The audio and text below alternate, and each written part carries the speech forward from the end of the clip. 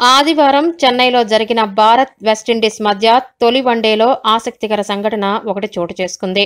Bharat innings నలభై ఎనిమిదో over వద్ద ఉండగా రవీంద్ర జడేజా నాలుగవ బంతిని మిడ్ వికెట్ మీదుగా ఆడి సింగిల్ తీసేందుకు ప్రయత్నించగా బంతిని అందుకున్న రోస్టన్ చేస్ నాన్ స్ట్రైకర్ ఎండ్ వైపు ఉన్న వికెట్లను గిరాటేశాడు.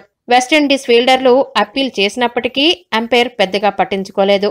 Field umpire Shaun George Ravindra Jadeja క్రీజులోకి వచ్చాడనుకుని రనౌట్ని మూడో అంపైర్కు రెఫర్ చేయకుండానే నాటౌట్గా ప్రకటించాడు. టీవీలో రీప్లే చూసిన తర్వాత విండీస్ కెప్టెన్ పోలార్డ్ అంపైర్ నిర్ణయాన్ని సవాల్ చేశాడు. ఫీల్డ్ అంపైర్తో వాగ్వాదానికి దిగాడు.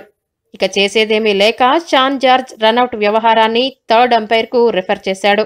నిశితంగా పరిశీలించిన థర్డ్ అంపైర్ జడేజాను అవుట్గా ప్రకటించాడు. అయితే ఫీల్డ్లో పోలార్డ్ ఎంపైర్తో వాగ్వాదానికి దిగిన వెంటనే డ్రెస్సింగ్ రూమ్ నుండి కోహ్లీ కోపంతో ఊగిపోతూ వేగంగా బౌండరీ లైన్ వద్దకు చేరుకున్నాడు. ఇంతలోనే థర్డ్ ఎంపైర్ జడేజాను అవుట్గా ప్రకటించడంతో కోహ్లీ ఆగ్రహంతో వెనుదిరిగాడు. మ్యాచ్ అనంతరం కోహ్లీ మాట్లాడుతూ ఫీల్డ్ ఎంపైర్ థర్డ్ ఎంపైర్కి ఒక విషయాన్ని బదిలీ చేయడానికి కొంత సమయం ఉంటుంది.